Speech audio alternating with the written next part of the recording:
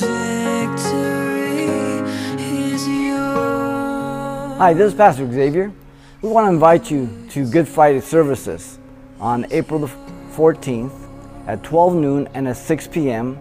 We gather together just to celebrate the, uh, the Lord's death for us and His grace and His love, and we encourage you to come. Bring your families. And also a Lazy Man Sunrise at Victory Park at 7 in the morning, as we have the past 35 years. And we invite you to come and just celebrate the resurrection. The whole purpose for us is to be a light to the community and a witness of the only hope that we have, and that's the resurrection of our Lord and Savior Jesus Christ. God bless you.